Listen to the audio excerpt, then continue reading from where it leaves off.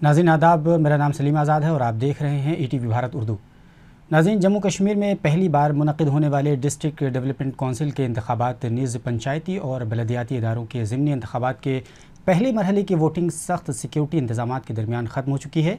इस दौरान पोलिंग के हालात काफ़ी पुरअमन रहे। आदाद शुमार के मुताबिक एक बजे तक उनतालीस आशारिया चौंतीस फ़ीसद वोटिंग रिकॉर्ड की गई है। डी डी सी इंतबात के पहले मरहले में तैंतालीस इंतबी हलकों में वोटिंग का अमल सुबह सात बजे से शुरू होकर दिन के दो बजे तक अख्ताम पजीर हुआ। श्रीनगर से हमारे साथ मीर फरहत मौजूद हैं। मीर फरहत, मेरी आवाज़ अगर आप तक पहुँच रही हो तो मेरा सवाल ये है कि अब जबकि सूरत हाल वहाँ पर पुरान बताई जा रही हो और अख्ताम पजीर हो चुका है तो आपसे मैं ये जानना चाहता हूँ कि फ़िलहाल लोगों का वहाँ क्या कुछ चहल पहल है और और सिक्योरिटी के क्या कुछ इंतज़ाम हैं? देखिए, दो बजे, सुबह सात बजे से आज ये पहला मरला जो ज़िला तरक्ती काउंसिल इंतबात का था, तीन सौ सत्तर की मनसूखी के बाद ये पहले बड़े इंतबात थे। सुबह सात बजे शुरू हो गए और दो बजे को इख्ताम हो गए। और श्रीनगर में ये सात टेरिटोरियल कॉन्स्टिट्यूंसी, यानी कि तरक्याती काउंसिल कॉन्स्टिट्यूंसीज में मुनद हुए। इस दौरान सिक्योरिटी के कड़े बहुत सख्त इंतज़ाम किए गए थे। हर पोलिंग सेंटर में काफ़ी पुलिस और जो नीम फूजी अमले सी आर पी एफ़ है वो तैनात थी ताकि कोई नाखुशगवार वाक़ा पेश ना आए। लेकिन सिक्योरिटी एहलकारों का कहना है सिक्योरिटी अफसरान का ये कहना है कि दो बजे तक कोई भी नाखुशगवार वाक़ा पेश नहीं आया और पुरअमन तरीके से आज पहला मरहला जो है पोलिंग का वो अख्ताम हो गया। शुक्रिया मीर फरहत, हमसे तमाम तर तफसीत बताने के लिए, हमसे तमाम तर तफसीत शेयर करने के लिए।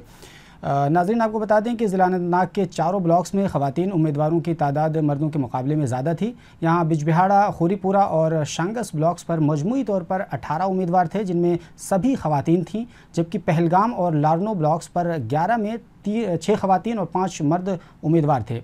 इंतबी मैदान में थे। इसके अलावा श्रीनगर में सात हलकों पर इंतबात हुए, जहाँ पैंतीस उम्मीदवार इंतबी मैदान में थे।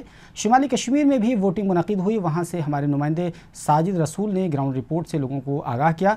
शुमाली कश्मीर के ज़िला बांडीपुरा से मजीद तफसीत के लिए हमारे साथ एजाज़ नाजकी मौजूद हैं। आइए उनसे बात करते हैं। एजाज़, अगर मेरी आवाज़ अब तक पहुँच रही है तो मेरा सवाल ये है कि गुरेज़ का जो इलाका है, चूँकि बर्फ़बारी की वजह से वादी से अमूमन मुनक़ रहता है तो वहाँ किस तरह के इंतज़ाम थे और लोगों का क्या कुछ कहना है? जी बिल्कुल सलीम अगर हम गुरेज की बात करें गुरेज एक ऐसा इलाका है बांडीपुरा का जहाँ पर बर्फबारी शायद सबसे पहले हो जाती है। और अगर हाल ही की बात करें चंद रोज कबल गुरेज में भारी बर्फबारी हुई है। और आज इलेक्शन के समय में आ, कुछ दिक्कतें ज़रूर पेश आई। मौसम की बर्फबारी की वजह से लोग कम निकल रहे निकल गए घरों से। लेकिन ऐसे में अगर हम देखें तो गुरेज का एक इलाका है तुलेल। तुलेल में करीबन 40 फ़ीसद के आसपास जो है वोटिंग हुई है। और प्रॉपर गुरेज में अगर हम देखें तो 22 फ़ीसद के आसपास वहाँ पे वोटिंग हुई है आज। लेकिन अब बर्फ़ अभी भी है पोलिंग सेंटर्स पे भी बर्फ़ थी पूरे गुरेज के अंदर अभी बर्फ़ है तकरीबन तीन फीट के आसपास बर्फ़ है वहाँ पे अभी भी। तो कहीं ना कहीं दुश्वारियाँ ज़रूर पेश आ रही है वोटर्स को और वो पेश आ भी गई उनको। और जिसके चलते जो पर आपने ज़ाहिर है की बात की होगी मकामी लोगों से जो वोटर्स थे लाइन में लगे हुए थे उनसे बात भी की होगी। तो उन लोगों का क्या कहना था? मतलब किस किस तरह एक्साइटमेंट था? और लोगों के दरमियान कितनी अवेयरनेस थी कितनी जानकारी थी डीडीसी इंतबात को लेकर? जी, बिल्कुल जो कैंडिडेट्स थे वो अपने अपने अपने इलाकों में शुरू से ही कंपेन कर रहे थे, लोगों को समझा रहे थे कि ये डीडी सिलेक्शन क्या माने रखता है, इसका क्या मकसद है। तो ऐसे में लोग भी जो है वो काफ़ी ज़्यादा खुश थे इस हवाले से, क्योंकि उन्हें लग रहा था कि कोई नुमाइंदा उनके अपने इलाके से ही होगा, जो उनके इलाके की डेवलपमेंट करेगा, उनके इलाके की जो तरक्की होगी, उसके लिए वो काम करेगा। ज़ाहिर सी बात है कि लोग वाकई में दिल से चाहते थे कि इसमें वो पार्टिसिपेट करें, इसमें वो वोट करें। तो यही शायद वजह है कि आज मतलब उम्मीद से ज़्यादा जो है वहाँ पे इलेक्शन वोटिंग हुई है गुरेज के अंदर। तो यकीन कैंडिडेट्स ने भी वहाँ पे अवेयरनेस बहुत ज़्यादा किया लोगों के अंदर कंपेन की और जागृति फैलाई लोगों के अंदर की किस तरह का ये इलेक्शन है और इससे क्या मकसद है। और जिसका लोगों ने भरपूर जवाब दे दिया चालीस फ़ीसद के आसपास तेल इलाके में ये जो है हमने आपको बता दिया तो रेल इलाके में चालीस फ़ीसद के आसपास जो है वोटिंग वहाँ पे हुई और प्रॉपर गुरेज जो है बाईस फ़ीसद के आसपास हुई है। कुल मिलाकर अगर हम बांडीपुर की बात करें तो बांडीपुर में तीन जगहों पर जो है डीडीसी चुनाव आज हो रहे थे। उनमें से संबल भी एक इलाका है।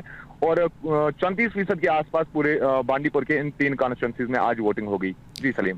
शुक्रिया एजाज नाज की बताने के लिए। आपने बताया कि 40 फ़ीसद के करीब इस इलाके में वोटिंग हुई है। यकीनन अच्छी वोटिंग कही जा सकती है।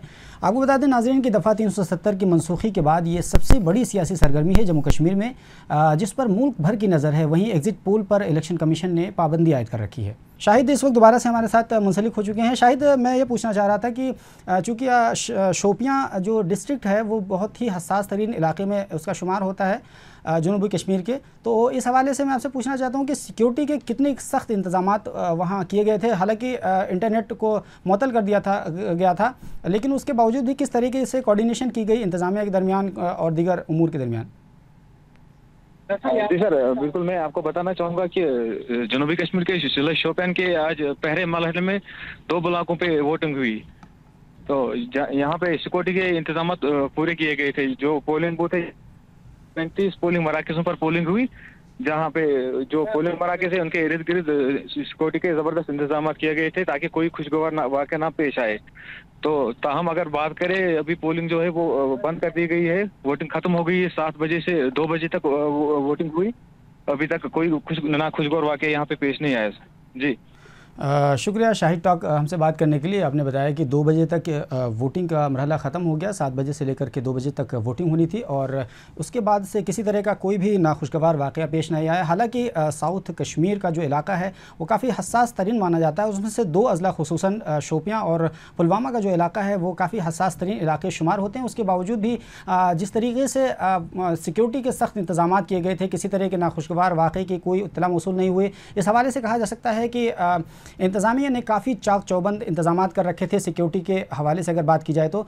और वहीं सेंट्रल कश्मीर की बात की जाए जहाँ जिसमें श्रीनगर आता है वहाँ काफ़ी हद तक हालात पुरान रहे और तकरीबन चालीस फ़ीसद की वोटिंग मजमू तौर पर हुई।